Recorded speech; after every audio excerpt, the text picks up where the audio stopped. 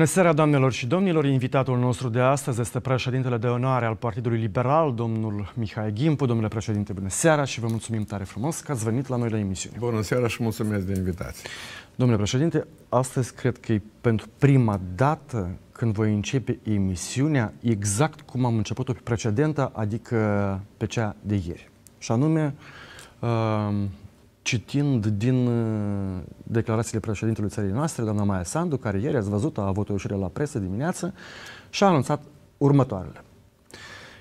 Că planurile Federației Ruse de destabilizare a Moldovei au fost confirmate de instituțiile țării noastre, că planul pentru o perioadă următoare presupune acțiuni cu implicarea unor diversioniști cu pregătire militară, camuflați în civil, care să întreprindă acțiuni violente, atac asupra unor edificii ale statului și luare de ostatici, prin acțiuni violente mascate sub proteste ale așa numitei opoziții, ar urma să se forțeze schimbarea puterii de la Chișinău. Documentele recepționate de la partenerii noștri ucraineni, zice doamna Maia Sandu, demonstrează o bună documentare a locațiilor și aspectelor logistice pentru organizarea acestor acțiuni subversive. Materialele conțin instrucțiuni despre reguli de intrare în Moldova pentru cetățenii ai Rusiei, Republicii Belarus, Serbiei și Muntenegrului. În realizarea planului, autorii mizează pe mai multe forțe interne, dar în special pe grupări criminale, cum ar fi formațiunea lui Șor și toate derivatele ei, pe unii veterani, foști angajați ai forțelor de ordine și pe mai multe persoane cunoscute pentru legăturile cu Plahotniuc. Deci, răsturnarea ordinii constituționale, schimbarea puterii legitime de la Chișinău, instalarea altei puteri, Parlamentul trebuie urgent să adopte legea SIS-ului și mai multe atribuții procuraturii înspăimântător, nu? Nu, cum să zic, contează ce are în vedere aici uh, legea procuratorii, ce privadă sau legea SIS-ului, dar uh, uh, pentru mine nu este o noutate și nu, nu, nu este prima dată când mă gândesc să întâmpla acest lucru. Fiindcă dacă răsfoim istoria, păi eu luăm de la 1812, noi n-am avut pace și liniște pe acest pământ din cauza Federației Ruse. Istoria este cea mai mare dovadă și dacă mai proaspăt, de ce să facem trimitere la unul, la altul sau la SIS-ul nostru, când trebuie să facem trimitere la ministrul de externe a Rusiei, Lavrov, care câteva zile în urmă a anunțat că suntem următoarea țintă. Ce mai e aici? Ce să mai să crezi, să nu crezi ce a spus Zelinski, ce a spus Isu. Iată, este și nu este un uh, ortaj de ăștia mai jos care vor și să folosească și arma nucleară și nu știu. Este ministrul de externe, este persoana, prima persoană, politica externă, cel care discută, a discutat cu lumea întreagă și acum nu mai umblă pe în Africa sau nu știu pe unde. Și dovada, e, e, dovada este viața pe care am trăit-o noi tragedie prin care au trecut părinții, bunii. Și oamenii ce trebuie să facă acum? Să-și ia bagajul, bagajul și să plece din Moldova? Nu, nu, nu. Uh, eu cred că declarația făcută de doamna președinte e făcut fiindcă este obligație să informeze cetățenii, ea responsabil conform Constituției de securitatea statului, sigur că statul sunt cetățenii, uh, dar Mm, nu se spune și nu, nu s-a spus și nu se va spune ce, tre, ce întreprind instituțiile statului, da? Abilitate în problema aceasta. Eu cred că uh, lucrul ăsta e așteptat de mult, sunt pregătite, adică ceea ce va fi posibil să facem, dar este mm, o problemă că nu e atât de ușor să uh, dai lovitura aceasta de stat de către... Totuși noi avem uh, poliție, avem servicii, că o să încerci S-a și încercat, dar hai să, să ne amintim în 2016, când noi intram în Parlament, da? Uh-huh. Aceea ce era? Ce era atunci? Nu se pregăteau lovitori de stat, fiindcă noi eram deputații uh, aleși de către cetățeni, de către alegători. Avem mandat și ei vreau să ne scoată pe noi din Parlament intenții, dorință de a, de a veni la putere. Dar atunci era una, acum... Uh, dar de fapt, care e diferența? Că atunci tot era uh, forțele proruse uh, care încercau să deturneze cursul și activitatea Parlamentului și să fie alegeri anticipate. Eu cred că noi trebuie să fim atenți și nu doar în urma declarației, doamne președinte, dar în genere toată viața și ieri și azi și mâine, fiindcă noi știm cine este Federația Rusă, mai proaspăt este agresiunea militară a Federației Ruse în Ucraina, unde sunt în același neam, neamul slavilor. Noi suntem absolut venit comun cu dânși. Noi suntem daco-romani și uh, aici cu atât mai mult trebuie să fim mai, cu mult mai, mai atenți și mai responsabili în tot ceea ce facem și uh, eu cred că în afară de instituțiile statului care au grijă și trebuie să aibă grijă și uh, mai sunt și cetățeni care nu acceptă politica acestor uh, partide sau uh, care vor răsturnare de, de guvern, schimbarea cursului european. Nu cred că noi cei care am luptat și am trecut prin multe până acum, cu greu am mișcat lucrurile așa cu pas de miel, vom tolera și vom sta la televizor și vom previ ce se întâmplă la noi. Nu, nu e atât de simplu că uh, eu cred că noi, forța noastră e mai puternică decât forța lor. Cu toate că îi mizează pe, pe, pe forțe străine aduse din, dincolo din Istru sau din Moscova. Uh, știți, Rusia are nevoie astăzi de teritoriul Republicii Moldova. Încă, pe de-o parte, dacă ar fi o guvernare loială, ar folosi tot armamentul care este în stânga Nistru, în Calbasna, da? uh-huh. împotriva Ucrainei și din partea asta spre Odessa și la nord partea aceea spre Cernăuț.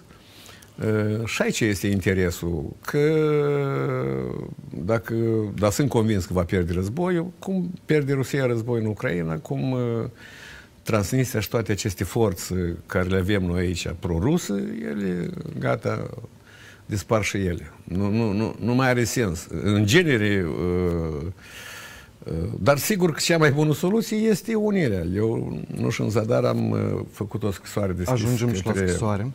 Doar că este altă problemă. Dumneavoastră da. ați remarcat că după declarația președintelui cei de la Casa Albă nu au putut confirma asemenea afirmații, spun că nu prea au dovezi. Nici cei de la NATO nu prea, în persoana domnului Geană, nu prea vede mișcări de Da, sunt cu noi, ne susțin, sunt îngrijorați profund, ca nu cumva să pățim ceva, dar nimeni nu confirmă oficial spusele președinții țării noastre. Păi bine, nu e vorba de mișcări, e vorba de un document, așa am înțeles că președintele Ucrainei Zelenski vorbește, a vorbit de un document așa. care l-a obținut serviciile secrete sau de spionaj a Ucrainei. E vorba de un document, mișcări nu dar chiar și fără declarația lui Zelenski, fără acest document, eu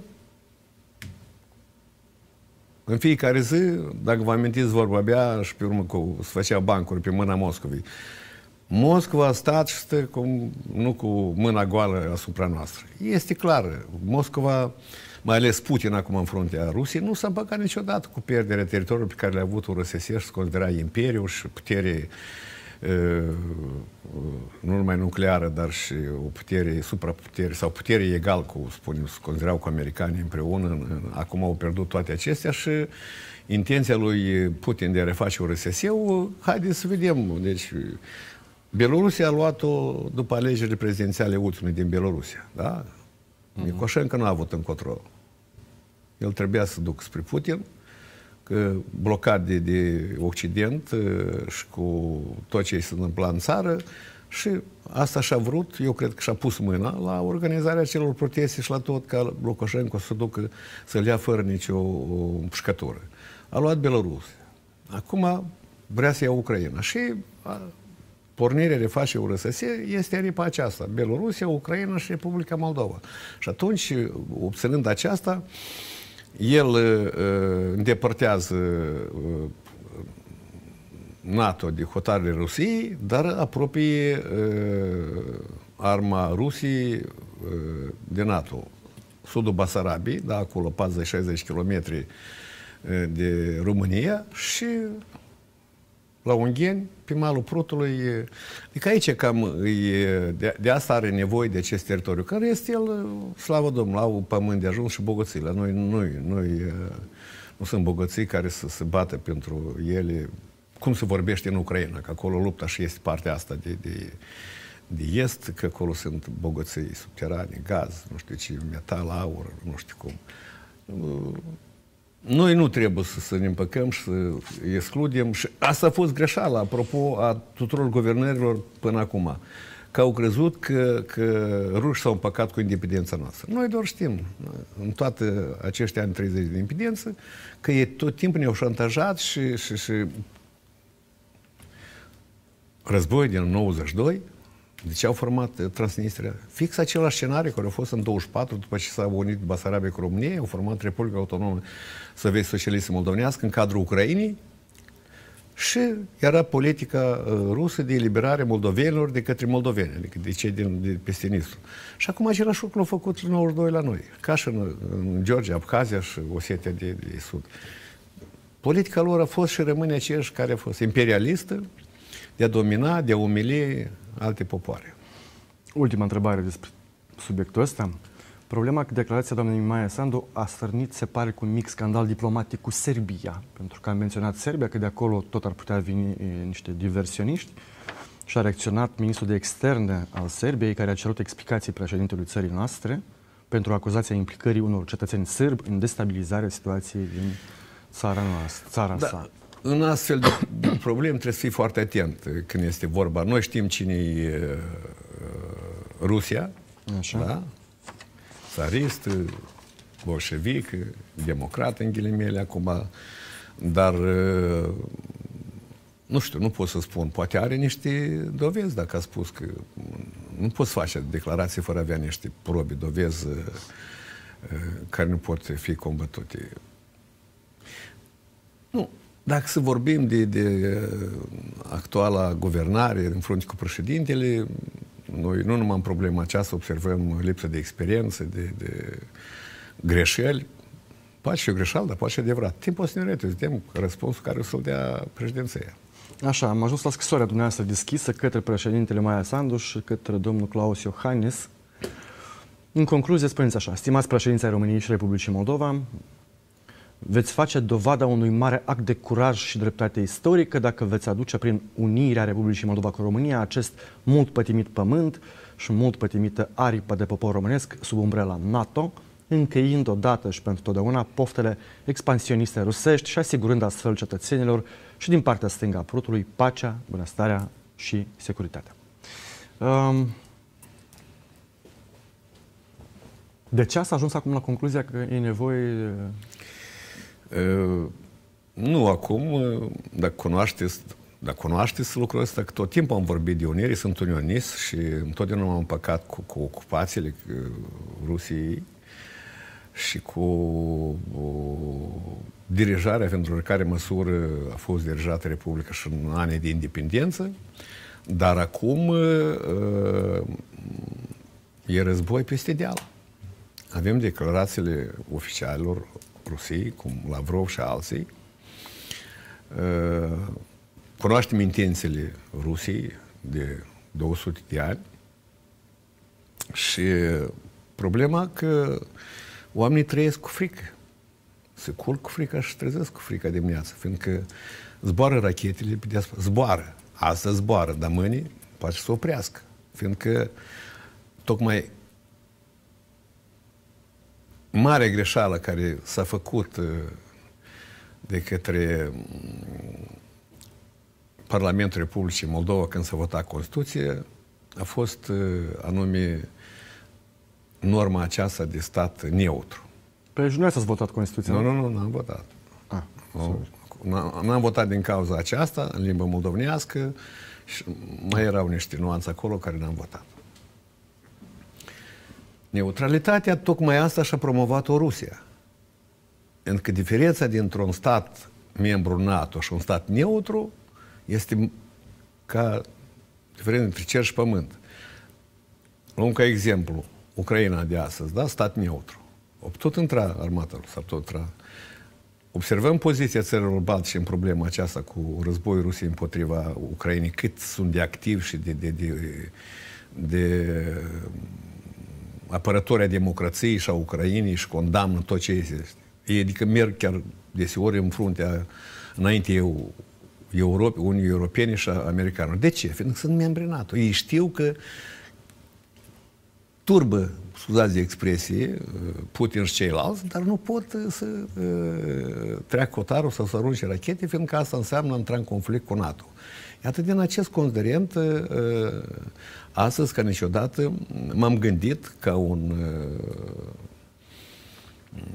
fost președinte de Parlament și interimar că pacea poate fi uh, adusă, adică frica de a nu pierde această pace, poate veni doar numai prin uh, Unirea cu România. Pentru că în acești ani de zile am vorbit și de, de uh, ararea la NATO. Chiar am avut sloganul Copiliem, familia NATO și UE. Și nimeni decât Partidul Liberal nu vorbea de aceasta. Abia acum au început să vorbească despre NATO. Chiar și doamna președinte, undeva indirect, a spus că da, am înțeles că această neutralitate nu ne ajută și trebuie să ne gândim la o alianță. N-a spus care. Da, da e clar care. Da, e clar care. Adică este vorba de NATO. Deci toată lumea înțelege, eu cred că și oamenii simpli înțeleg acum care e diferența dintre un stat uh, neutru și un stat uh, membru NATO. Să la NATO acum este nu ușor și nu simplu, fiindcă este um, articolul 5 a, a tratatului sau acordului NATO, unde spune că nu poate adera state dacă au pe teritoriul său armat străină. Noi putem ajunge în NATO unindu-ne cu România, fiindcă este stat membru NATO și UE. Dar fără regiunea Transnistria, nu înțeleg. Eu cred că dacă am depune efort și am lucrat în această direcție și cu regiunea transnistriană. Eu am fost tot timpul de părere că acest teritoriu trebuie declarat ocupat și să ne unim să, să ne gândim la cetățenii care vor să trăiască în pace, libertate și bunăstare. Că aceasta oferă NATO. NATO nu este o organizație cum au promovat rușii propaganda asta lor, că e un stat care ocupă agresiv și la oameni, la noi în cap, este doar acest lucru. Oamenii nu văd că Rusia este agresivă și neocupat și ocupă și distruge și Georgia și Republica Moldova și acum Ucraina, dar trăiesc cu frică față de NATO. Fiindcă așa a fost propaganda rusă. Și în, în, în cazul dat era poziția așa. Acum, acum eu cred că e posibil să discutăm cu cetățenii E nevoie de o politică de stat în problema asta, fiindcă eu sunt convins că nici cetățenii, cei din stânga Nisur, nu vor uh, război și vor pace. Și demonstrează aceasta cifrele că ultima perioadă majoritatea uh, uh, au luat cetățenia Republicii Moldova. Au început să o ia încă mai de mult, de când am devenit noi stat, uh, am avut libera circulație absolut, dar acum, când s-a pornit război, foarte s-a mărit numărul ăsta de, de, de uh, care au luat cetățenia Republicii Moldova. Plus că mulți au trecut când s-a pornit război în partea aceasta, fiindcă aveau cetățenia rusă și semeau să nu fie încadrați în, în armată și trimis pe front. Și situația s-a schimbat foarte mult și noi putem. Depinde foarte mult. Nu lucrăm. Și la sud nu mai sunt acolo găgăuzii pentru... Acolo sunt niște persoane care eu, pe unii încă țin minte din timp front popular, care îmblau cu, cu, cu, cu drapelul rusesc și, și acum situația s-a schimbat radical după invazia militară a Federației Ruse în Ucraina. Și noi trebuie să folosim acest moment. Și câtă încredere aveți în doamna Maia Sandu la acest capitol? Uh, nu.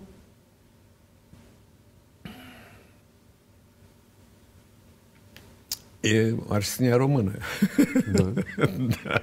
Și am zis că dacă un referendum uh, va vota. Eu cred că pasul care are 63 de mandate poate găsi, uh, dacă să fie o politică bine gândită și printre ceilalți deputați ca să obțină să rezolve problema aceasta, să aibă mai multe mandate, votul, să spunem, votul prin Parlament sau votul prin referendum. Fiindcă numărul cetățenilor a crescut. Cu toate că, din păcate, nu înțeleg de ce, presa tace, nimeni nu vorbește de unire decât Partidul Liberal și chiar declarații care mai au mai fost declarații de unire chiar la începutul războiului și această scrisoare este, fiindcă trebuie să recunoaștem că unire nu poate fi făcută fără București. De aceea am făcut această adresare către ambii președinți, și Iohannis și Maia Sandu. De ce n-a spus bazele Unirii atunci când erați la putere în Moldova? Eu le-am pus cum le-am pus. Decretul meu a fost asta un pas, mm-hmm. dar a fost anulat, declarat neconstituțional. Ceea ce, și acum, când mi-amintesc că declarat neconstituțional, uh, uh, îmi vine a zâmbi, știți că, adică președintele statului, șeful statului, care e responsabil de securitatea statului, da? Securitatea statului asta înseamnă tot, da? Emite decretul care vorbește despre ocupație și spune că Rusia trebuie să-și retragă și armata, munițiile pe teritoriul nostru și Constituția spune că nu poate să fie pe teritoriul nostru rămas străină, Curtea declară decretul neconstituțional. Adică a fost... Uh, uh, eu cred că aici mâna colegilor mei, fiindcă eu am uh, emis acest decret în secret. Fiindcă eu știam că dacă am să discut cu ei, decretul ăsta nu o să apară. Și când am aflat de decret, că eu am auzit la, la, la presă despre acest decret. Și clar că eu să-mi amintesc și discuțiile dintre noi, când am început ce fac, ce ai făcut. Că... Nu, Aici sunt niște lucruri care nu trebuie să le scot, cum să spune, din casă, dar... După atâția ani, casa aia, mai ales că a fost deja incendiată, nu a mai rămas nimic din ea. Cu toate acestea, știți, eu uh, uh, zic uh, că am făcut și niște lucruri liberă circulație, piața europeană, că dacă nu era acord de asociere cu UE, nu era statutul de stat candidat a Republicii Moldova să scutate că nu știm că el a venit în urma războiului. Adică, pe de o parte, Putin uh, vrea să ne ocupe, să, să ne deturneze, să facă toate, dar de altă parte ne-a ajutat să avem acest statut de stat candidat, pentru că dacă nu începea război în Ucraina, nu, nu, nu era nici Ucraina n-ar fi primit acest statut și nici noi. Este clar că aceasta ne-a dus. Uh, și apoi să nu uităm că Peleu avea 12 mandate, dacă să comparăm cu PASul, care are 63 de mandate, și guvern, și președinte, și tot absolut. Cu toate acestea, eu am făcut în acea perioadă scurtă de un an și trei luni, am făcut lucruri. Decretul, am desecrizat arhivele care stăteau toate crimele săvârșite de regimul comunist în anii de deportări și de foamete organizată și mai multe lucruri am făcut. Ceea ce a fost posibil. Uh, cum să spun? Uh, în toți anii aceștia de independență, noi ne-am mișcat înainte cu pas de melc. Așa am început cu limba alfabet, în comparație cu alte state care luptau pentru independență. Vă amintiți în anii Sau vă amintesc eu, vă spun eu mai bine. Deci toate fostele republici luptau pentru independență. Numai Republica Moldova pentru alfa, limbă și alfabet. V-ați spus votat întrebarea de ce? Mm. Vedeți cum? Vedeți cum? Așa a fost uh, dictat, uh, fiindcă mișcarea democratică, mai târziu am înțeles că a fost formată de aceste mișcări democratice sârne perestroice, de Gorbaciov, comanda lui la FSB-ului pentru să-l ajute în reformele pe care avea probleme în cadrul Comitetului Central sau în biroul lor, cum era acolo, cu acei mai, mai uh, agresivi care nu acceptau reforma propusă de Gorbaciov. Și aceasta a fost pe un treptat transformată în mișcare de liberare națională. E, e o istorie foarte sumbră și de ce eu zic că eu am făcut ce a fost posibil. Poate și mai mult, dar comparăm cu cei care au fost pe la mine și au fost aleși direct patru ani de zile. Ce avem? Memorandumul semnat de Lucinski cu, cum îl chema pe cel a fost președinte, prim-ministru a Unii Sovietice, nu, mai, nu contează, sau uh, uh, acordul semnat cu Federația Rusă în care a încetat, a încetat Tighina și am adus forțe pacificatoare, încă o armată rusă la noi. Da, ei n-a fost ușor, domnul Mircea Sinegur, eu înțeleg acum, uitându-mă la acest război, a rușilor împotriva Ucrainei, dar întotdeauna trebuie să fii foarte atent uh, fiecare pas care îl faci, fiindcă mulți pași noi am făcut în, în uh, detrimentul nostru și în favoarea Federației Ruse. Eu astfel de lucruri n-am făcut. Și nu zadar, eu am fost inclus, imediat după decret, am fost inclus în lista dușmanilor Federației Ruse alături de Saakashvili și de senatorul McCain a Statelor Unite Americii. Ca să nu mă declare regizorul dușman și pe mine, propun să luăm câteva clipe de publicitate, vă rog, după care revenim. Sunt de acord. Publicitate, doamnelor și domnilor. Noi am revenit, doamnelor și domnilor. Așadar, domn președinte, continuăm cu știrile de ultima oră. A picat guvernul Natalia Gavriița. Uh, cei din PAS spun că a fost un guvern minunat. Aproape ideal. Unul dintre cele mai bune guverne. Doamna Natalia Gavrilița, atunci în mesajul ei de adio, a enumerat multiple realizări ale, actual, ale executivului său. Și la final a anunțat că demisionează. De ce a demisionat guvernul? Nu, dacă să vorbim de guverne, nu doar de guvernul Gavriliță, cred corect e Gavriliță. Nu, numele ei e Gavrilița. Păi așa l-au făcut rușii. Dar românește e Gavriliță. Asta cum ar fi eu Ghimpa, nu Ghimpu. Știți? Uh, N-am avut și nu o să avem un guvern bun, fiindcă nu avem economie. Vă amintiți aici, am discutat când uh, ministrul de finanțe a comuniștilor a spus că dacă noi nu ne uh, afectează criza afectează economică. criza economică, noi nu avem economie. Nu? Uh, asta e adevărul. Într-o situație de, de, de criza asta cu pandemia, cu, cu criza energetică, cu război în Ucraina, orice guvern uh, ce poate face? Să rezolve cât de cât problemele acestea care apar, da? Ele nu sunt minore, dar sunt probleme serioase. Să spunem că a rezolvat cu criza energetică, nu, fiindcă astăzi noi consumăm gaz care l-am plătit, l-am procurat în vară cu 1300, îmi pare că de euro. Da? Când acum prețul la bursă e 600.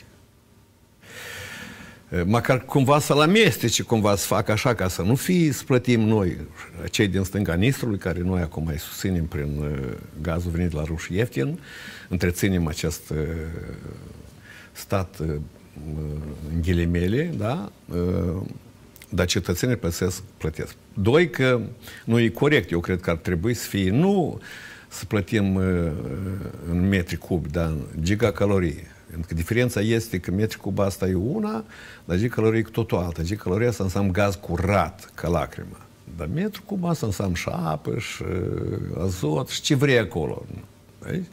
Și nimeni nu rezolvă problema. De ce în problema asta spunem că a rezolvat-o? Nu putem să lăudăm guvernul. Uh, putem undeva să-i punem o notă bună cu ajutorul refugiaților. Că, într-adevăr, aici împreună cu cetățenii s-a simțit o inimă mare din partea și a guvernului și a... Sigur, cu ajutorul Europei, că iarăși dacă era vorba cu propriile finanțe, cu propria forță, n-am. Încă nu suntem... Uh, nu, nu știu dacă ar putea eu să spun așa. Republica Moldova nu este o vacă cu, care de lapte, este o vacă stearpă. Din păcate. Asta e situația și o spun uh, acel care a votat independent și a luptat pentru dânsa. Am crezut că o să mergem mai departe, fiindcă vorba aceea cu Stiunescu fiind în, ca, în componența unui sovieti și Stiunescu România, nu e posibil și nici nu are sens să aduci România în Uniunea Sovietică. De aceea s-au votat de independență ca să putem lua decizii noi de unul singur și să mergem să facem unirea. Dar dacă așa să cetățenii noștri care cred în Putin și în propaganda lui, a Kremlinului și a celor partide care le avem la noi prorusă, lasă să trăiască în sărăcie și, și frica în sân că în situația aceasta, când război este peste deală. Așa că, dar cred, de ce acum? S auzea mai de mult că trebuie să plece și alta e problema de cea trecean și nu altcineva. Eu am glumit și am spus unui uh, cunoscut că zic că Dorin Cap de Asfalt, dar nu Recean, după declarația care a făcut-o atunci. Eu cred că aici e legat mai mult de, de poate sondaje și au fost special făcute, dar în sondaje era mult jos doamna Gavriliță. Și asta însemna o, o piatră pentru PAS, pentru Partidul PAS, care eu credințat această funcție. Doi, în, să apropie primăvară. Da? Plus că aveau și informația asta că se pregătesc lovituri de răsturnare de guvern și vine primăvara și posibil că au informații, că avem uh, serviciu, că se pregătesc chiar uh, demonstrații. Și atunci, uh, cum să spune, le iai pâinea din gură. Mm. Schimb guvernul și cum poți să vii să strigi jos guvernul sau îl învinuiești că nu face dacă el numai ce a venit în funcție. Da?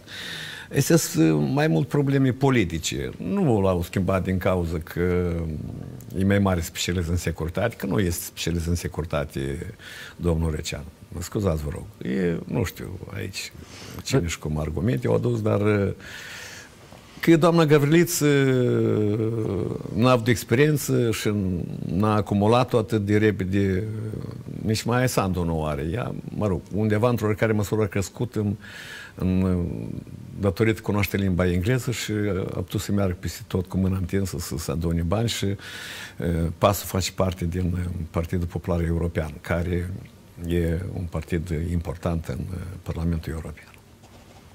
Da, din punctul de vedere moral, cum pare că atunci când, după patru zile la Brus- petrecute la Bruxelles, întâlniri cu zeci de oficiali, mă refer la Natalia Gavriliță, vii acasă și să nu-ți demisia a doua zi.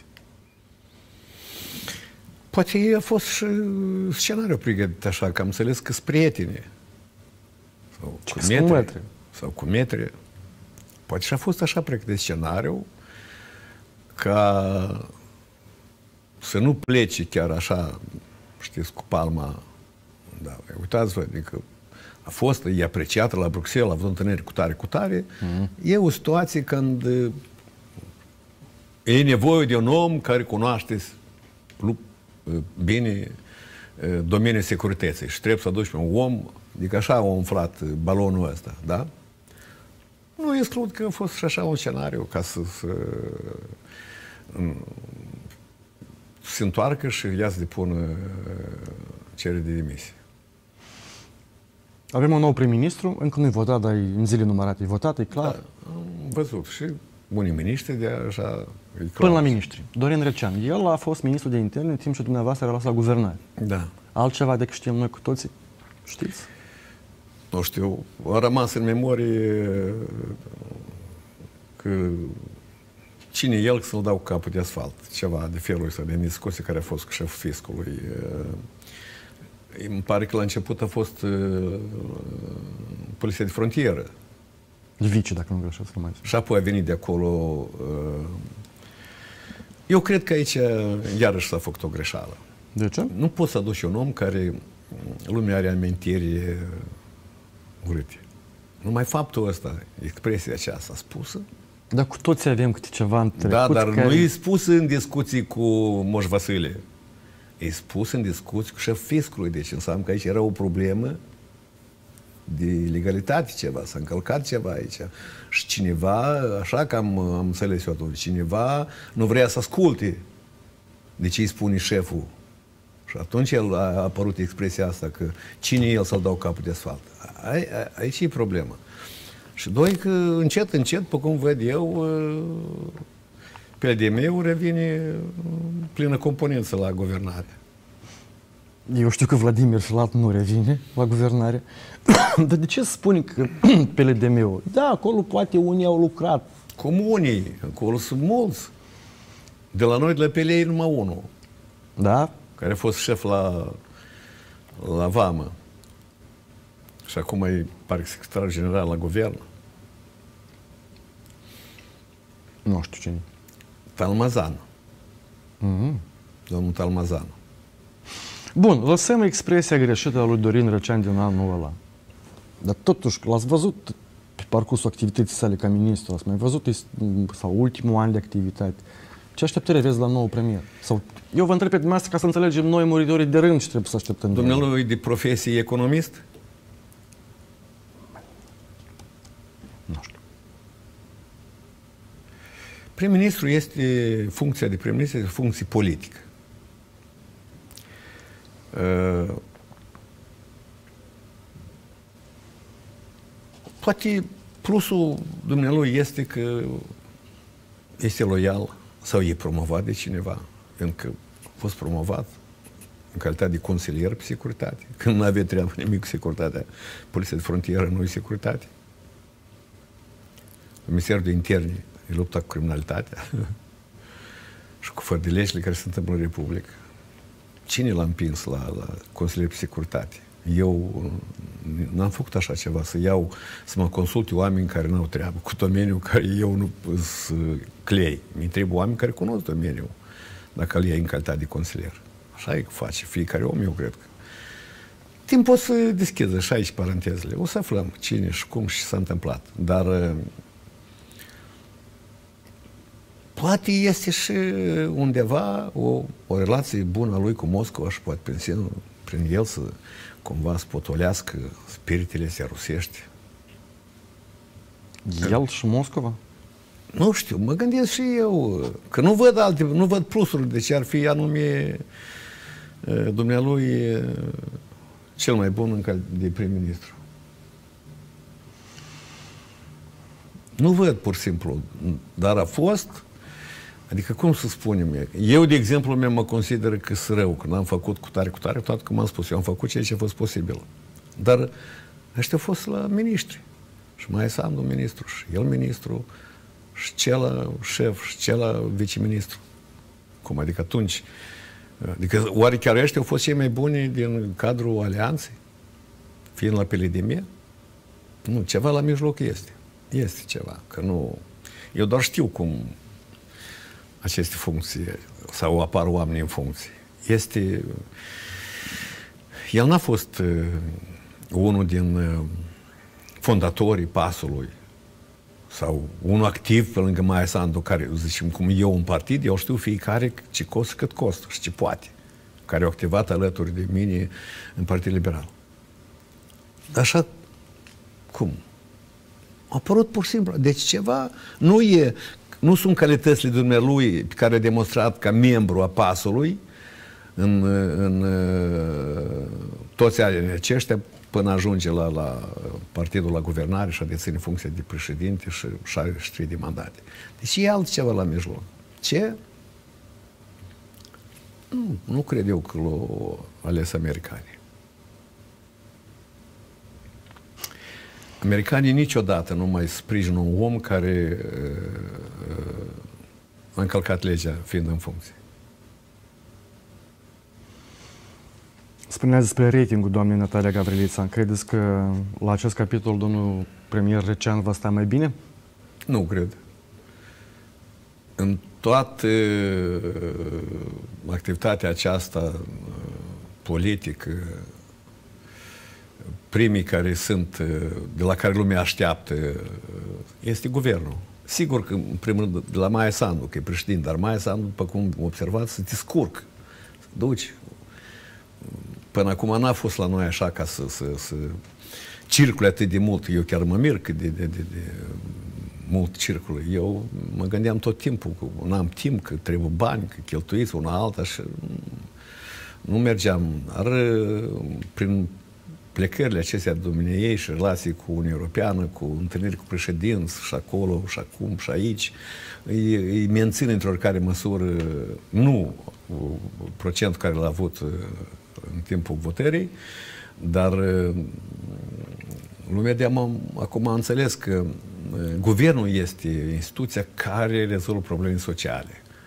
Și tocmai din cauza că nu avem economie, deci, uh, în primul rând, cad guvernele.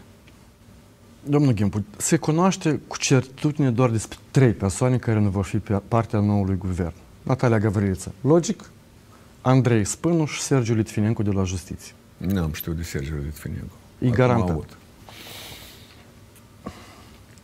Toți ceilalți se mai creează încă un minister. Deci Ministerul domnului Spânu se separă și se va crea Ministerul Energiei energetice sau energiei sau gaze lor naturale clar, care da. nu mai vin de la ruși sau nu știu care.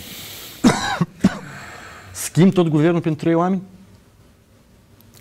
Ministerul de unde vin gazul. Nu uitați de unde ies gaz. Mm-hmm. Da. Uh, nu. Uh, nu, asta putea să o fac simplu. Demersul prim-ministru către președinte, nu cred că problema s-a schimbat guvernul pentru a schimba acești miniștri. Nu. Eu, cum v-am spus, cred că folosesc această situație că și-a dat demisia, dar guvernul a plecat din alte contrente și eu cred că mai mult din aceste contrente pentru a menține ratingul mai Sandu și a pasului. Pentru că guvernul Nu, acest lucru, mă scuzați, de nu ca să e o expresie rusească și uit câteodată să, să mă debarasez de ea, nu numai la noi, în situații de felul acesta, să, sunt schimbate guvernele. Totdeauna când apare o criză, ca să potolești spiritele, da? să schimbă guvernele. Și asta numai în situația când ori e demis, ori își dă demisia. N-a fost demis, fiindcă dacă era demis de, prin vot Parlamentului, atunci era o plecare urâtă de tot a, a doamnei Găvrăliță, da? Și-a dat demisia. Uh, cred că aici e problema. E, e vorba de, de partea politică, de politică și de... Vin alegeri locale în toamnă, pe urmă, peste un an să alegeri prezidențiale, să apropie și cele parlamentare și un partid care are un guvern care încă nu e exclus că și Recean să fie schimbat înainte parlamentare. Încă nu văd cum va rezolva problemele Stați să-l investească, noi deja îl dăm afară. Nu, eu spun situația care e la noi, că noi nu avem. Ce avem noi? Noi nu producem, nu avem gaz, nu avem uh, petrol, nu avem... Uh, bostani avem, dar din păcate, vedeți, cu ei nu pot să încălză oamenii, nici cu soba și nici uh, stomacul. Unde ajung. Sunteți în dezacord cu numirea domnului Recean, dar dacă ar fi fost domnul Andrei Spânu, care și-a asumat foarte mai mult. mult. Nu, ai, contractul semnat cu Gazpromul și prețul ăsta de 30 de, de lei metru cub, în situația când acum la bursă e 600 de dolari, nu, nu. Dar se pare că meritele lui, meritele lui oricum au fost apreciate, pentru că doamna Maia Sandu a semnat decretul prin care domnul Spânu a fost numit în funcție de secretar general al aparatului președintelui. Îmi pare că mi-a și fost acolo secretar o perioadă, nu? Da. L-a adus aici, de acum asta, de acum nu-i funcție. Spânul tot este pe limba cetățenilor. Cum să-l lași? Ei, aici de un secretar, gata, acolo conduce mai Santă, nu eu, dar ei. Spânul, în primul rând, cred că era cel mai mult pe limba cetățenilor mai și mai mult decât Gavriliț. Da, așa că aici mișcarea, decizia e făcută corectă. Nu, dar chiar și nu mai vorbim de preț. Cum să închei un contract pe 5 ani de zile? Nu cum? Dar voi de ce nu ați semnat, apropo, un contract mai bun atunci? Când păi guvernat? era în vigoare. Știu că se prelungea ani de an. Sau dată la ceva păi timp. Păi da, dar un an nu-i cinci ani. Când vezi că nu, nu e situația bună pentru tine, atunci nu... De ce, iată, de exemplu, oamenii de afaceri cer uh, contract de rendă să fie nu 5 ani, cum, dar pași 9 de ani el să fie sigur că investițiile lui se vor păstra și se va dezvolta și nimeni nu îi va încurca să, să, sau nu îi va lua terenul acolo unde el mm. a investit ceva. Dar aici, când e vorba de, de preț, nimeni nu, în situația asta de criză da, economică, ce credeți, cu oameni de afaceri încheie contracte pe 5 ani sau pe 10? Nu. Nu. Pentru că e situație cu risc ca să te înțelegi acum la prețul care azi prețurile sunt mai mari din cauza crizei. Și fiecare crede că se va schimba situația și peste un an vor fi prețurile mult mai ieftine și atunci e mai favorabil lui să aibă un contract pe 5 ani sau uh, îi convine prețul. Dacă nu-ți convine prețul, sunt multe lucruri aici care... Nu, iarăși, nu... Uh, uh, e una să strige în stradă uh, trăiască, trăiască sau jos, jos, și alta e să conduci. Din păcate, la noi lucrul ăsta nu, nici alegătorii și nici oamenii care vin în politică nu vor să înțeleagă că clasa politică sau partidul e ca o scară care are mai multe trepte. Și trebuie să treci aceste trepte ca să ajungi la treapta superioară. Acum o experiență. Să vezi studiezi, să lupți, cunoști și atunci, așa cum știți cum e, vine la, la, la o întreprindere, e funcționar sau e mastru, pe urmă șef de șantier și tot așa treptat ajungi la... Dar la noi deodată, deci în fruntea ministerului, bun, poți fi ministru, că, cum am spus că e funcție politică, că n-ai o experiență politică în partid. Dacă nici în partid nu ai avut experiență politică și, și e cu semn de întrebare și cea profesională și te, te duci ministru sau prim-ministru sau președinte, îți trebuie jumătate din termenul care erai, numai să însușești. Și dacă nu, mai, dacă nu ai deșteptăciunea să lași aparatul care cunoaște să te ajute și îl schimbi și să aduci de ai tăi care tot să clei în problema asta, lucrurile mără prost. Dar la noi cam așa, adică nu, nu, nu se respectă norma asta democratică. Eu am spus și repet și acum, eu când am devenit președinte interimar, mă dați am 8 ani, voron președinte, aparat format de dumnealui, nu? Eu ce trebuie să fac cum fac unii la noi? Să-i dau pe toți afară și să aduc alții noi. Eu am făcut cunoștință cu ei, am studiat, am văzut că erau chiar și cu studii din România și am avut încredere într-o... Acolo lucra unul care a fost deputat cu noi în prim parlament, m-am gândit că îl pun șef de aparat și i-am adunat și le-am spus politica e ce fac eu. Restul voi îndepliniți atribuțiile care vă se revin. O să faci așa, o să lucrați mai departe. Nu, nu. Am schimbat doar pe Sergiu Sâmbu, Sârbu l-am concediat fiindcă a participat în alegeri activ de partea Partidului Comunist. Hmm. Deci m-am condus că aceștia cunosc lucruri. De ce eu trebuie să aduc oameni care... Eu trebuie să...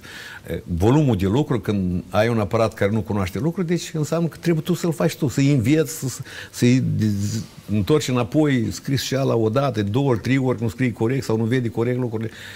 Dar la noi nu există treaba asta de secretar de stat, asta înseamnă că se schimbă guvernul, miniștri, partidele vin la guvernare, rămâne secretar de stat și cu aparatul care are o experiență. De la și la noi oricum și secretarul de stat se schimbă. De la noi se schimbă și vin și avem ce aici avem. Poftim. Ei vin și se gândesc cum să facă bani. Apropo de ceea ce a spus dumneavoastră când ați venit la președinție, Iată, noi vorbeam despre Andrei Spânu, că a fost numit secretar general al aparatului președintelui Republicii Moldova, Maia Sandu ce cu funcția asta? Ce funcție asta? Ce va face Andrei Spânu de azi înainte? Că unii spun că oricum astfel va fi păpușarul care va conduce mult. Alții, în fine, câte canale de telegram, atâtea păreri. Deci președintele promulgă toate legile. Secretarul general este omul care răspunde că aceste legi votate de Parlament ca să le promulge președintele, trebuie să le citească consilierii, toți care sunt în, acolo, da? Acolo secții, secția pe medalii, secția pe uh, economie, decret, secția și consilierii are pe aproape toate domeniile, nu am avut, fiindcă așa era situația atunci, pe toate domeniile. Nici nu îmi dădea guvernul bani, că erau colegi care se considerau buricul pământului, știți, atunci, și ei hotărău toate. Uh, și iată, asta e Adică tot ceea ce trebuie să intre în competența președintelui pregătesc uh, acești lucrători care sunt în aparatul președintelui, inclusiv și consilierii președintelui. Și secretariatul țin la control tot absolut. Adică om influent. Păi da, sigur, tot aparatul, toți care uh, o, o, să, uh, de exemplu, da, o lege care nu e bună votat de Parlament, depinde de el, cum dirigează lucrul. Poate să-i pui la semnatul doamnei președinte să semneze, să promulge o lege care acolo sunt niște lucruri care nu trebuie, au fost votate. Interes, lobby cineva a făcut. Asta mult contează, fiindcă uh, președintele nu reușește să citească toate proiectele de lege. Mm-hmm. Legile votate de Parlament. Și apoi decrete care le semnează, le pregătesc pe domeniul atribuțiile care are președintele. De lucru este, este. Fiindcă, bun, hai să spunem că în cazul dat parcă ar fi, e aceeași echipă. Închipuiți-vă că președintele face parte dintr-un partid și Parlamentul e format din alt partid sau alte partide. Uh-huh. Trebuie să fii cu pat, ochii în patru, cum se spune. Clar. Uh, urându-i succes domnului Spânu, haideți să luăm câteva clipe de publicitate, vă rog, după care revenim. Publicitate, doamnelor și domnilor. Noi am revenit, doamnelor și domnilor. Așadar, domnul Mihai Ghimp, Partidul Liberal. Ce mai face Partidul Liberal și în general dacă mai există Partidul Liberal sau Partidul Liberal să Mihai Gimpu și Mihai Gimpu Partidul Liberal și gata. Pentru că la noi a fost recent domnul Dorin Chirtoacă și ne-a povestit că el nu prea are treabă cu... Nu. Și uh, răspuns, a dat un răspuns uh, sincer, într-adevăr. S-a retras, e membru, dar uh, Partidul Liberal asta nu înseamnă este președinte sau nu Dorin Chirtoac sau Mihai Gimpu pare că, nu știu dacă ați urmărit, eu am făcut, uh, anumit din aceste, din acest uh, continent am făcut uh, o, o excursie prin organizații teritoriale, asta toamnă. Că auzeam vorbă că nu mai este partidul, că e numai Gimpo, că Chertoac, nu știu ce. Și pe pagina mea am pus toate întâlnirile care le-am avut cu colegii din teritoriu, cu birou, că așa mai bine te treci cu birou și poate cu prezența unor membri de Consiliu și uh, n-aș spune eu că în afară de PAS uh, are altcineva organizații mai bune decât noi. Hmm. Dar PAS-ul are și în rest, dacă ne uităm pe dreapta, PLE-ul are structurile pe care le are. Eu nu pot să spun de, de uh, centru, centru stâng. Eu vorbesc de partea, de eșcherul pe dreapta. Doi, în această perioadă de, de criză, război, ce poți să faci? Iată, vine primăvara, totul e scump, oamenii de afaceri închid frisăriile, magazinele, că căldura e scumpă. Deci sunt nuanțe aici. Dar vine primăvara și începem să ne pregătim de alegeri locale în toamnă. Dumneavoastră sunteți președinte de onoare sau președinte interimar sau președinte... Eu sunt președinte de onoare care în lipsa președintelui ales îndeplinesc atribuțiile președintelui. Așa. Conform statutului. Așa este o normă statutară în statut. Ce vreți să faceți? Congres extraordinar, ordinar, când? Sau încă nu se știe? Păi, analizați. Da, analizăm, discutăm împreună cu colegii. Sigur că trebuie să fie un congres, trebuie să fie ales președinte. Da, eu nici nu, nu, nici nu vreau să fiu președinte mai departe. Le-am spus din start. Da, eu accept să îndeplinesc aceste atribuții până la congres, când va fi congresul, dar uh, nu vreau, uh, unii mai încearcă, nu, și la congres. Zic, nici nu uitați de asta. Asta, adică eu intru în situația voastră în care se află partidul și uh, revin ca să vă ajut. Să ajut partidul. Da, e și partidul pe care l-am condus și l-am ridicat eu. Dar uh, congres trebuie să fie. Da, nu când o să vedem? Încă nu, nu am. Congresul conva Consiliul Republican, încă discuții avem că trebuie, dar când încă așa odată n-am fixat poate să mai încălzi și atunci știți cum, când e mai cald și păsările mai ușor zboară. Și nici candidat la șefia Partidului Liberal nu aveți acum? Nu așa că să fie discutat între noi și să spunem că iată XY va fi președinte, n-a fost. Delicat de situație. Nu, eu nu văd în asta o problemă. Oricum cineva din, din uh, colegi va fi președinte sau depinde. O să vedem. Poate și un om nou. Dar în situația asta, știți, la noi cetățenii moldoveni ăștia, da, cred că nu numai din partea asta, dar și din partea cealaltă, că suntem români moldoveni și români olteni și ardeleni. Pe cum am observat eu, când e un partid așezat bine la guvernare sau are o, o instituție cum primăria municipiului Chișinău, ceva important, atunci sunt mulți doritori. Dar când la de gata, cum se spune, este o expresie așa pur. Dacă când trebuie să muncești în situația, fiindcă trebuie să recunosc, știți lucrul ăsta, că mult după ce am semnat eu decretul prin la ocupație, au fost atacuri masive împotriva mea ca să mă compromit pe mine și astfel să compromit și Partidul Liberal și dosarele cu Dorin Chirtoacă și cu colegul Iurie. Și uh, le-a reușit, le-a reușit și plus că s-a mai făcut o greșeală uh, ca să nu vină Dodon a fost ținut Maia Sandu și în astfel de situații, când faci lucrul ăsta, pierzi legătorii tăi, îi trimis singur de acum în tabra cealaltă. Mm. Și trebuie de muncit. Dar eu totuși, analizând ceea ce avem pe dreapta, nu văd că alt partid care ar putea să se ducă drapelul unionismului mai departe, așa cum l-a dus și îl duce Partidul Liberal. Aici trebuie muncă, trebuie sinceritate, să nu fii unionist pentru a folosi cauza sau pentru a-ți rezolva problemele sau pentru a veni ziua în care tu să, să trântești în gât, cum de obicei la noi sunt unii care fac lucrul ăsta, sună o idee până când, atunci când e important ideea asta să se realizeze, o trântesc în gât. Colegul Iurie, vă referiți la domnul Topală? Nu, dosarul cu...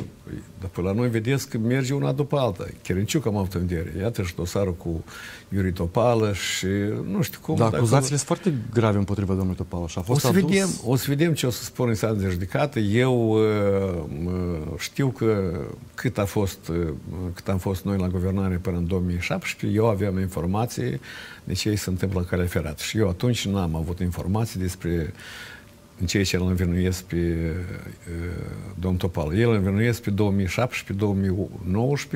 de când noi am plecat la guvernare. Dar mm. Topal a rămas și mai departe în funcție de director a Căi Ferate. O să vedem. Eu aștept... Am vorbit când era încă aici, înainte de a pleca la Bruxelles și mi-a zis că nu are nicio vină. Știu că în perioada lui s-au început să plătească salarii la lucrători și chiar să, nu numai salariile curente, dar și cele care erau ca datorii.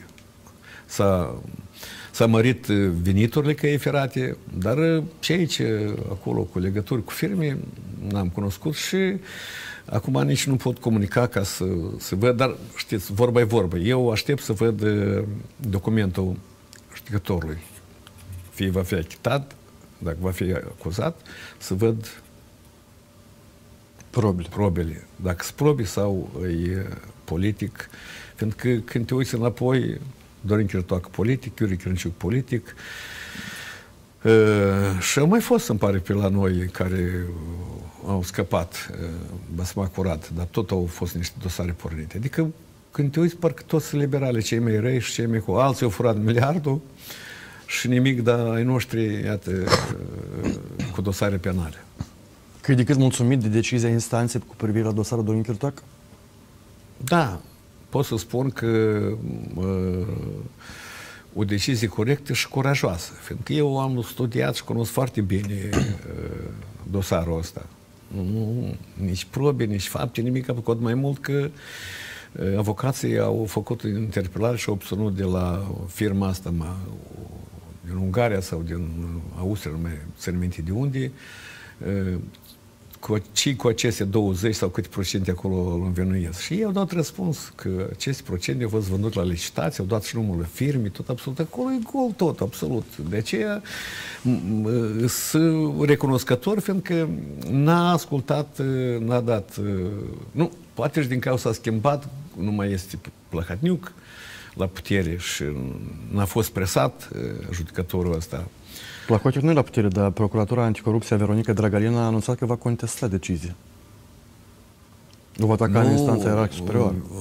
În cazul dat, înțelegeți că și doamna Drăgalin nu vrea să rămână că de am auzit o vorbă care tare nu mi-a plăcut, că mai s-a că procuratura s-a reformat, așteaptă judecătorii. Chiar am zâmbit atunci când am auzit. Adică sunt dosare sumedeni care ilegale încă pornit timpul Plahadniuc și stau oamenii, nici nu sunt invitați, stau în sertar, că nu e numai al doilea dosar Dorin Chirtoacă, mai sunt și alții care au dosare și s-a reformat.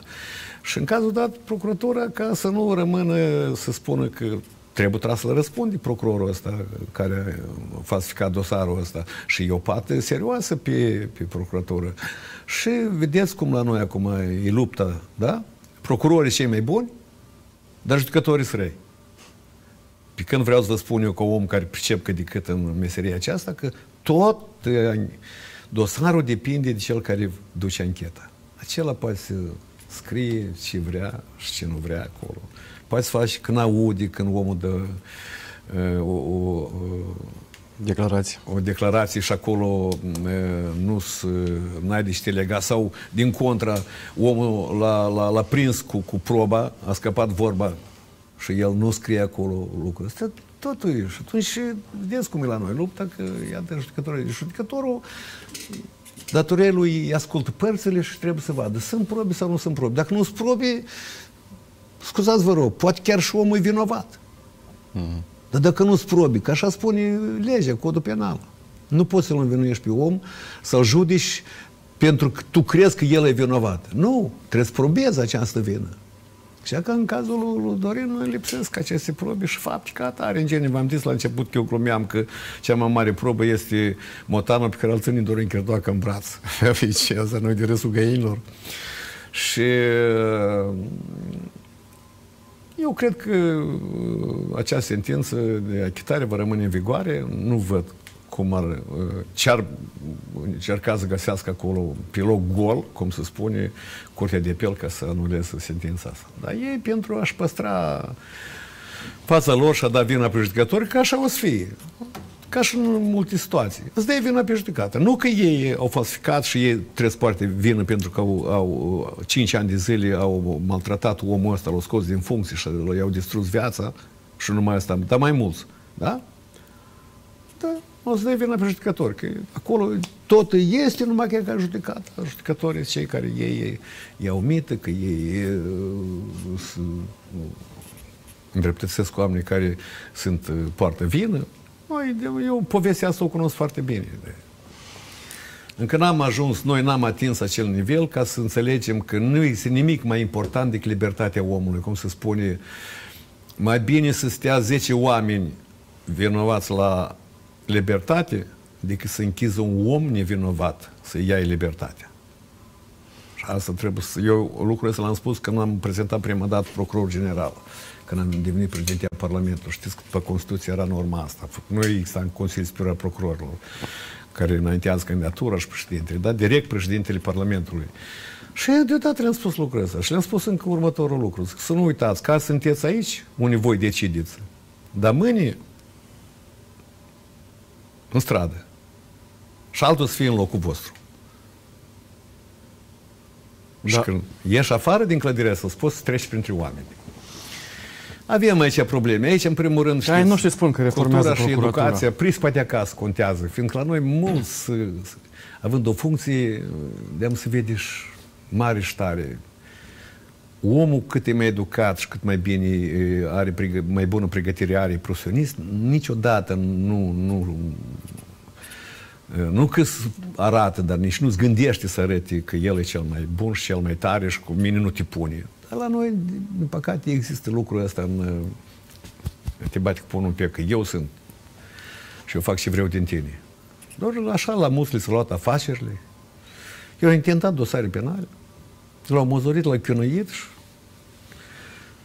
el n-a activat și i-a luat domeniul și s-a băgat, alt și-a luat. Adică perioada de tranziție într-o societate fără cultură și fără educație de acasă, fără acești șapte ani de acasă, e foarte grea pentru cetățeni. Foarte grea, fiindcă folosesc folosesc acei care, care vor peste noapte să ajungă să fie primii în toate.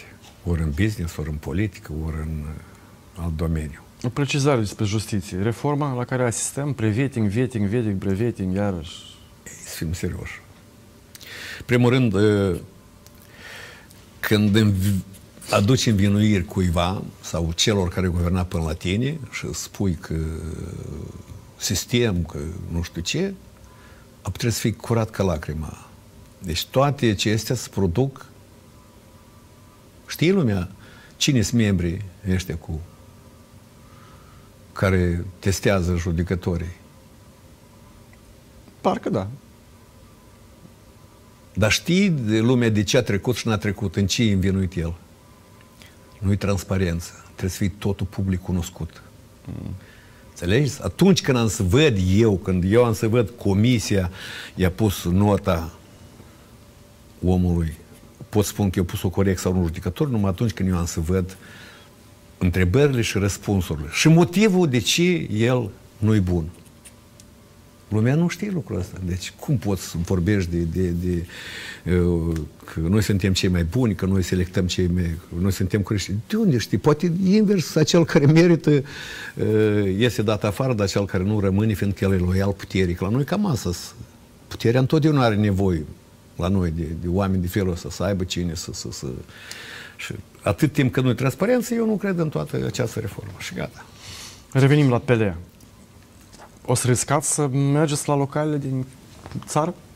Să participați la alegeri locale da, în toamna sigur că, da, nu, nu, nu zic în toate localitățile. Da. Sigur că eu am așteptat reforma teritorială administrativă, ceea ce este un minus a actualei guvernări. Nu știu din ce considerente, de o, cum au convins și Fondul Monetar și, și Uniunea Europeană ca să rămână în raioanele astea sovietice, fiindcă decât să ai 30 ceva de spitale friguroase și fără utilaj modern medical, mai bine să ai 9 sau 6 sau 6 sau 9 la unii. Păi se propune de la 32 la 10. Ce? Raioani. Și când o să fie asta? Aia abia la început. Păi vedeți? Discuțiile. Vedeți? Se propune. De ce n-am făcut lucrul ăsta? Iarăși, adică motivând că, ui, dacă nu știu ce acolo...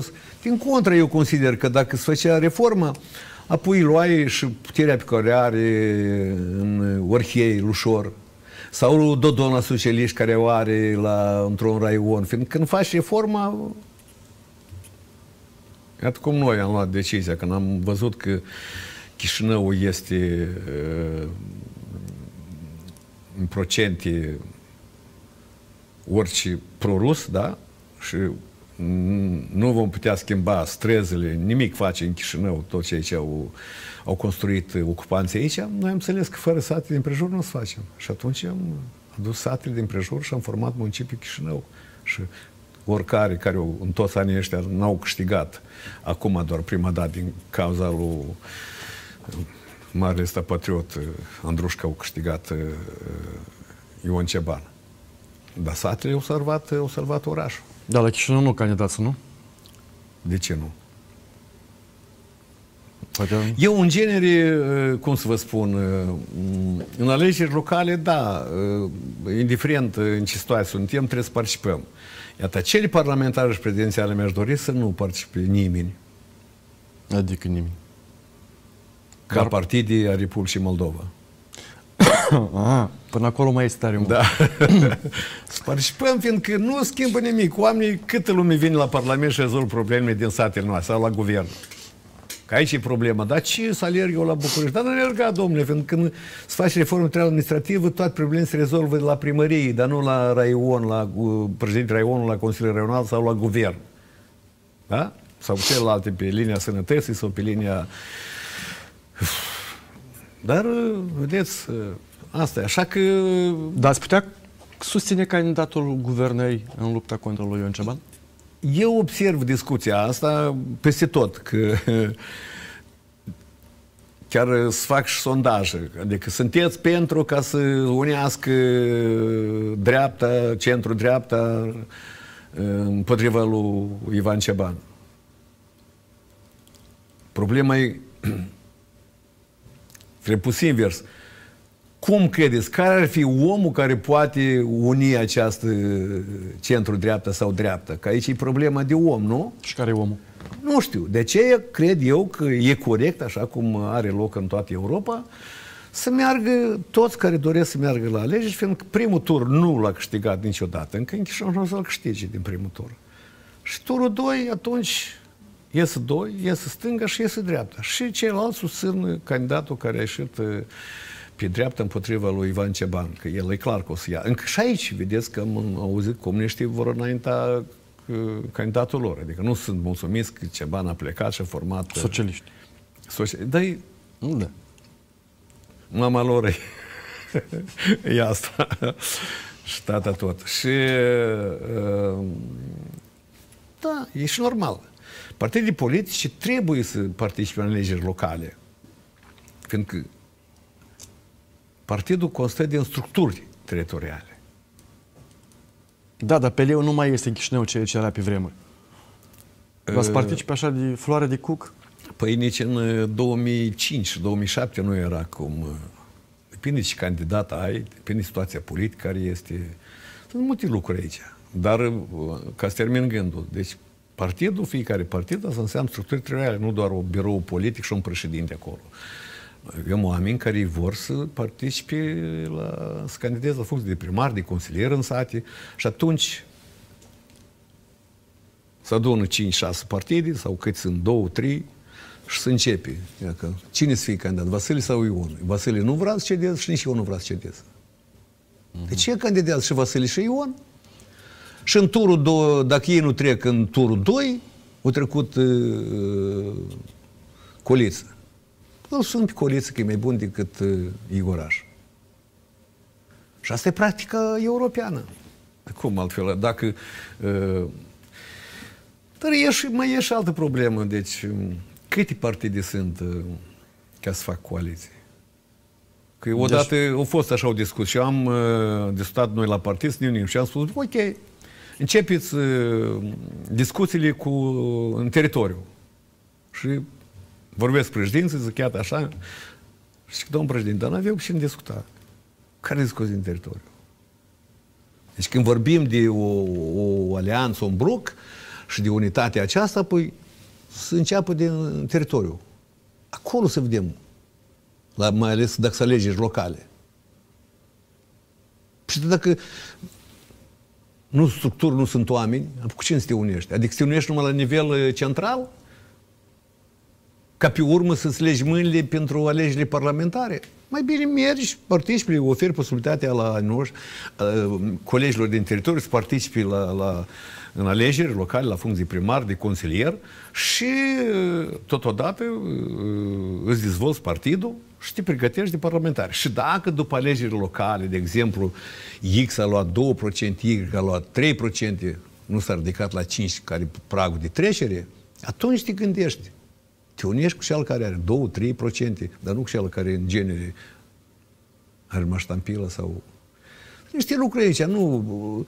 Lumea vrea asta, care... Și eu susțin că oamenii spun uniți-vă, că adică și fel de unire dacă voi nu vă uniți, sunteți eu vrut să-i uniți și nume. Eu nu eram președinte, eram uh, retras.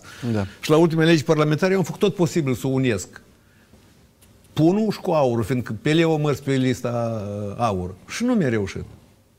N-au reușit. Am vorbit și cu unii și cu alții. Băi, oameni buni, voi înțelegeți că pentru mine nu contează uh, uh, partidul, denumirea sau partidul ca atare. Pentru mine contează uh, cuvântul ăsta unirea. Deci dacă mergi să aparte, nu treci și voi ce faci? Nu vă compromiteți pe voi, că voi la, sunteți sau noi suntem, nu suntem. Asta e, viața merge înainte. Dacă să nu compromitem unire, uniți-vă. Și nu, nu, nu s-au unit. Apoi, dar cum?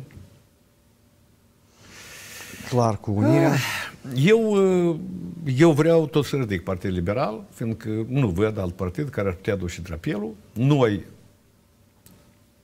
toate greutățile, cu toate învinuirile, tot ce am avut, noi pe leu am dus drapelul ridicat de front popular în problema națională. Începând cu limba alfabet și am ajuns până la decret, până la limba română, se numește că vorbim, și multe lucruri le-am făcut. Adică am realizat multe lucruri din programul Frontul Popular și a marilor adunări naționale. Nu mai mi-a rămas unire, dar am făcut și pași în privința asta. Cu una, cu două, cu trei, cu patru am făcut pași și eu cred că este și meritul Partidului Liberal că astăzi avem procentul ăsta de unioniști. Eu mai am câteva întrebări care despre, despre așa, Oricare general... puneți-mi eu, că n-am nicio... Nu cu mă tem, n-am... Nu, voiam să închei așa frumos, dar atunci nu încheiem. Haideți cu critică. Da. Știți că noi suntem pe locul 3 la implementarea acquis european după Georgia și Ucraina. Ucraina da, război. Dar... Poate și asta e un moment de, cu, legat de demisia guvernului. Eu am citit o declarație a domnului Igor Grosu, președinte PAS, președinte al Parlamentului. Um, domnul Grosu spune că noi, trebuie, noi, cei din PAS, trebuie să dăm socoteală pentru totul din 2014 încoace. Că dacă cei din 2014 nu se ocupau cu porcării și se țineau de agenda reformelor și nu de tot felul de scheme, nu ajungeam aici și nu pierdeam ani de zile în mandatul lui Dodon, în mandatul lui Placodin și așa mai departe. Și dumneavoastră ați guvernat în 2014. De ce și grosul tot. Era viceministru la Maia Sandu, din Pelidemie. Da. Și apropo, domnule Grosu, vreau să vă amintesc că voi ați fost acei care ați avut 32 de mandate, 23, 32 de mandate și ați avut guvernul. Și uh, alta că dacă vă rog, știți, poate n-ați citit, în raportul Comisiei Europene e scris negru pe alb că cele mai mari, mai bune reforme s-au făcut în anii 2016-2017, când noi am revenit la guvernare pe leu, când am văzut că se duce totul. Pe, pe apa, apa sâmbetei, am acceptat guvernarea în iulie 2015, fiindcă era o restanță mare la îndeplinirea acordului de asociere. Uh-huh. Și asta, atunci noi nu, din 2013 până în 2015, noi n-am fost la guvernare, pe leu. Ei și-au asumat să guverneze cu vot comuniștilor și mai furat uh, acele 6,5 miliarde de, de, de lei. După, și pe urmă, după ce au furat 6,5 miliarde, încă la cele 95 ne-au invitat pe noi și noi am venit pentru că ne era rușine față că cunoșteam multă lume, știam ajutorul Uniunii Europene, că mi-au și zis cum, adică noi v-am, în avans v-am dat și libera circulație și uh, piața europeană, dar voi nu îndepliniți și atunci când noi am venit în frunte cu Pavel Filip, cu guvernul Pavel Filip, am, am, făcut, am uh, uh, multe lucruri am făcut și din restanțele care au fost față de, de Uniunea Europeană prevăzut în acord de asociere, noi le-am realizat. Așa că declarații de felul ăsta că noi și noi mai mari, fiindcă eu știu totul ce s-a întâmplat din 88 încoace. Absolut în politică. Așa că dacă nu auziți declarația că de 30 de ani nu s-a făcut nimic de asta guvernului actual, este greu să lucreze? Păi 30 de ani s-au făcut, încă și 100 de ani să facă. V-am spus, nu avem economie. Și să, și să vorbim noi. Cum poate fi un cetățean bun șofer dacă el nu are mașină? Gheorghe.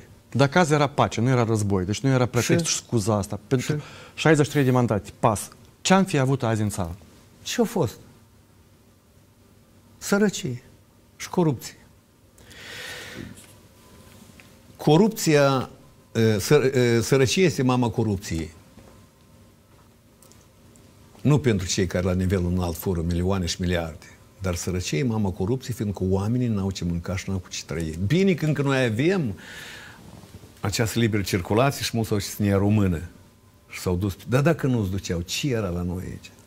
ce drept, iată, ducem, avem locuri de muncă care sunt goale, oamenii pleacă. Chiar dacă are și aici un salariu de 1000 de euro, el tot de una se duce. Cunosc și așa cazuri. Mi-a spus unii. Au 1000, el duce la 1500. Băi, dar ce câștigi doar 500 tot acolo, îți plătești gazda, una alta, dar ești și lângă mama. Nu, eu mă duc. O devenit o modă sau condiții de viață altele acolo. E altă viață, altă aer, altă respirație, altă libertate. Și uh, asta e situația la noi uh, cu, cu guvernele.